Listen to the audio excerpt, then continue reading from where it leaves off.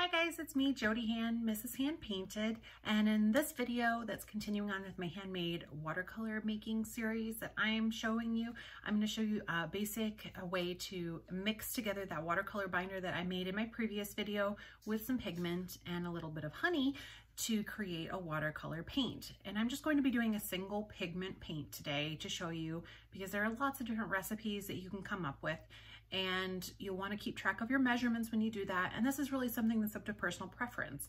So uh, whatever color combinations you come up with mixing your pigments, it's a lot of experimentation sometimes, but a lot of the colors that people make in the handmade watercolor community are kind of their own special recipes and me in particular, I don't really want to share some of my special colors that I've put together because they are unique for me, but you can come up with all your own recipes and this is just gonna show you how I mix together a single pigment, which is fairly easy to do. Um, just depends on the type of pigment you choose. Some pigments mix together much easier and quickly. Others take a lot of mulling um, or even just a lot of mixing before you even start mulling. Um, but I will quickly, uh, I will just go over some of the supplies that you'll need for making paint. All right, so obviously we're going to be using our watercolor binder that we made in our previous video.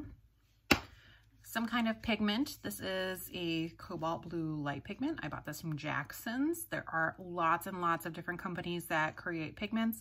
You can also find mica pigments that are shimmer that don't require mulling, but for something that's a matte pigment like this, um, generally what you're finding here is the type of pigments that we will have to mull to incorporate the pigment particles into our binder and get a nice smooth paint that doesn't have little clumps of dry pigment in it. So uh, there's that, and then you'll need something to mull your paint with, and I have this really large one. It's got a really nice flat surface. It's nice weight to it. It's a larger muller, and um, you can buy these from many different art supply places that make paint. Pigment suppliers will often sell them. You can find them on eBay as well. Um, there are different sizes, so this is what I started with, was a really small one. Um, but that's something you can uh, branch out into as you get better at it. Um, just invest in what you're comfortable with if you're just starting out. But this one is fairly small and that's what I started out with until I realized I really liked making paint and I wanted to do it a lot. So then I bought this one. And it makes it a lot faster. Um, here you can see I have a tempered glass sheet that is, this one is 11 by 14 and then I have it on a non-slip craft mat. This is from Fiskars. And I use that so that it doesn't slide around on my desk. Um, you can also use the shelf liner material, but you want this to be tempered glass uh, so that it is really strong and it doesn't crack on you because you're gonna be putting a lot of pressure down on that. And what I've also done is I've roughed up the surface of my tempered glass sheet so that it has a bit of, uh, not really a grit necessarily, but um, you can use silicon carbide, which is like tiny little uh, granules of silicon carbide. I don't really know what exactly it is, but um, you can purchase that. A lot of the pigment suppliers will also sell that as well. And you just mix that with a little water and you mull that on your surface just to get it a little bit um, roughed up so that your pigment can uh, mix together a little easier. If you're just going to be doing mica pigments, you don't necessarily need to do that because you're not going to be mulling it. But for this, you want to have a nice way to get those uh, particles broken down and mixed into your binder. Something else that I'll be using is some honey, and I really like this particular honey. They sell it at our local grocery stores, but it's an Iowa honey, and I'm in Iowa, and I really like to use some local products and help out other small companies. Um, so this is a brand of honey that I can find here in my stores near me. And they produce honey uh, that is made here in Iowa. So that's something fun that I add just a little bit. Oh, the other thing that you'll need is some kind of face covering because some of the pigment powders, depending on what they are, um, can be, if you're going to be using anything that has toxicity to it, maybe some of the cadmium pigments, you will maybe want to get um, something a little bit higher up like an N95 or a painter's mask. But for something like this that doesn't really have very fine particles, um, just cloth face mask, it would be just fine. You don't necessarily have toxic pigments in all of these. I try to use mostly non-toxic. Uh, just because I have two kids in my house, but um, something like this, it can have a dust up and it will get in your face, which is not fun to breathe in. So do wear a mask when you're dealing with the dry pigments. Once you mix the binder into it, you don't need to wear the mask. Um, the tool I'll be using to mix with first is just a palette knife.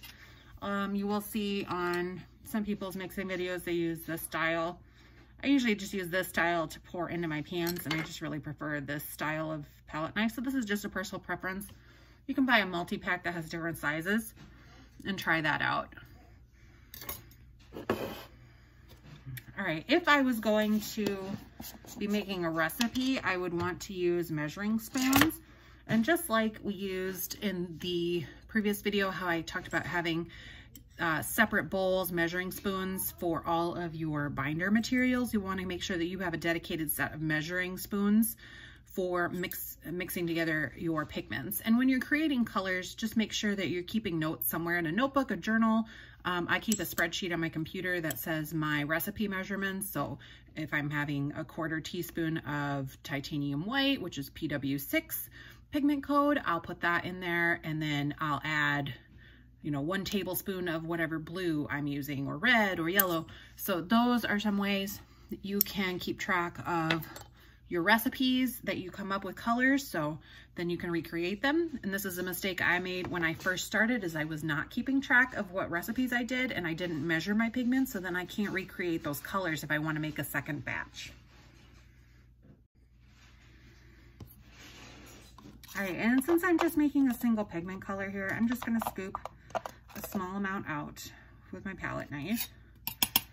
Um, if I was gonna be measuring, I would do this and I would level it off with my palette knife back into there to make sure I get an even measurement. I actually don't have a whole lot left in this jar. I'm gonna go ahead and mix up the rest of it. And this is why I use this type of a, a dropper bottle because it's a little bit easier to um, pour small amounts of pigment at a time because I don't want to put too much because then I'll have to add more pigment to it afterwards. A lot of people make kind of a little volcano well so that this doesn't spill all over the place. So I'll just add a small amount to start.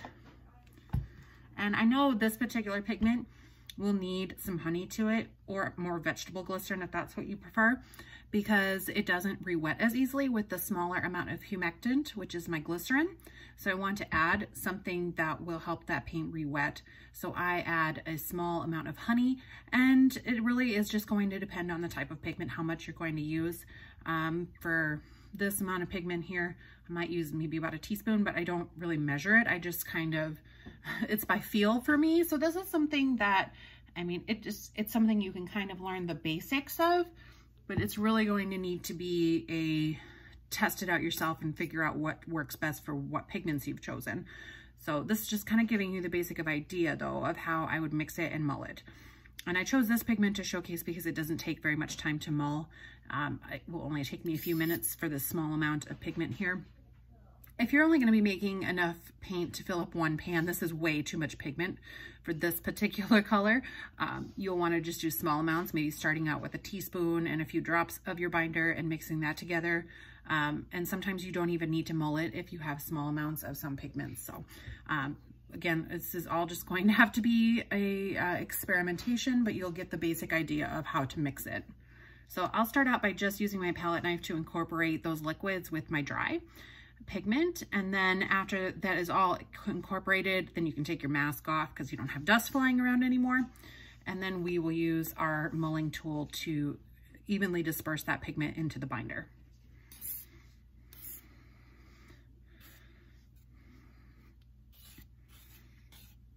All right, and as you go, you'll notice I didn't have enough liquid and I like to just start out with a small amount and work my way up because if you add too much, you end up with a big sloppy runny mess and then it's too runny and you have too much binder, it will not dry properly and you'll have really, really sticky paint.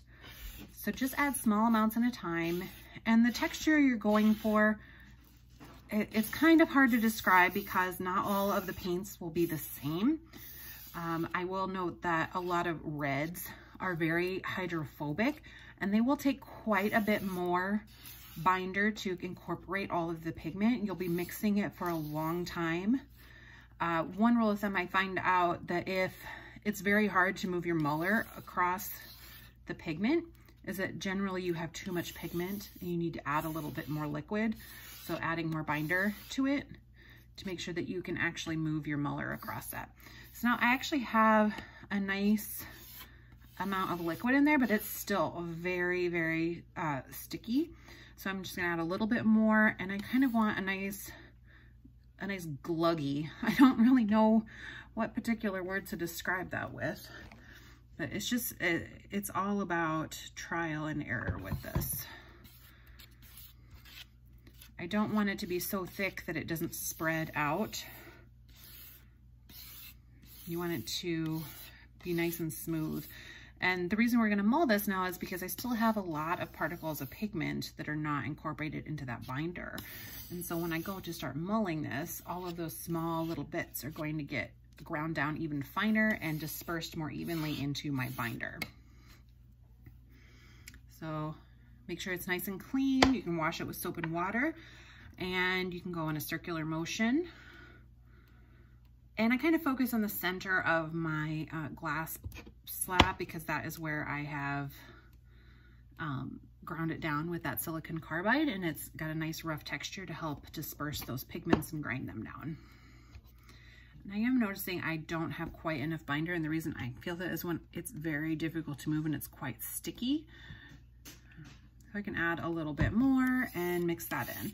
And as you go, it'll spread out on your slab and you'll just take your palette knife and scrape up the excess paint and just move it back to the center. And then continue mulling it until it's nice and smooth.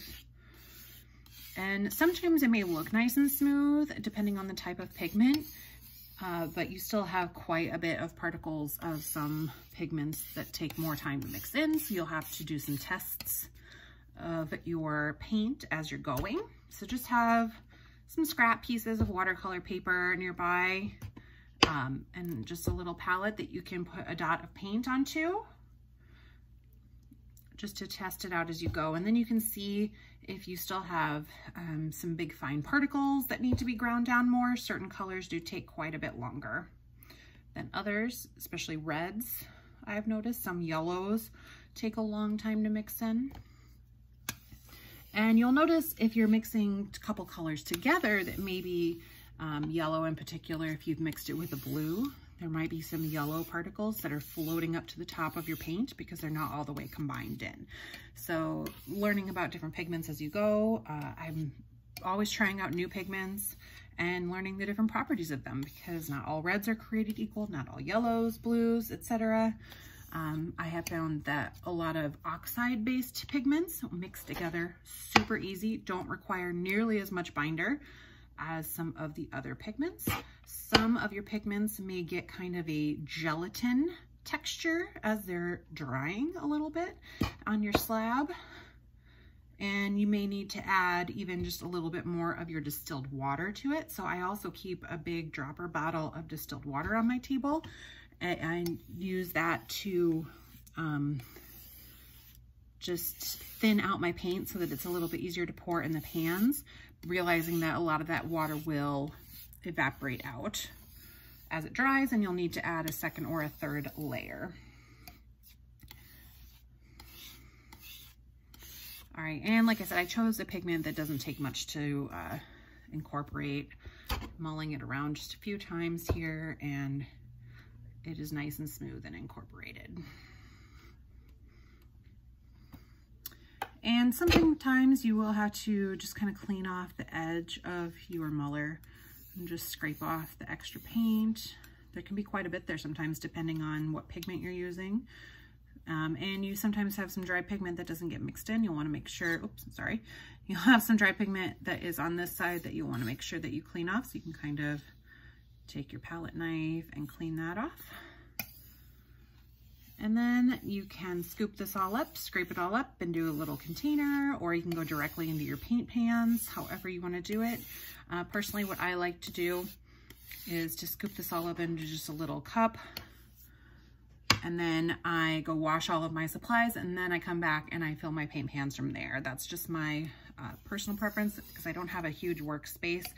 So I need to use my countertop here to fill my pans and I don't want to set everything on this dirty paint slab. So um, that's something that is all up to personal preference. So that uh, kind of is the process of making my paint. And like I said, there's so many different variations on the recipe you can do based on the type of pigment you're using and mixtures that you come up with. But that is the basic idea of how I mix my paint.